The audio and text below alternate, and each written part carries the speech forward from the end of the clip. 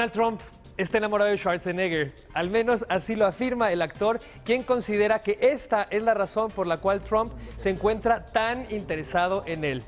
Como si no tuviera nada más que hacer, ¿verdad? Esto lo declaró después de anunciar que no conducirá la próxima temporada del programa televisivo The Celebrity Apprentice. Y bueno, si eso era lo que quería Trump, pues ya lo logró porque ya desertó, ya no quiere conducir el programa. Pero sí, ya que lo deje en paz y al mundo entero, ¿no?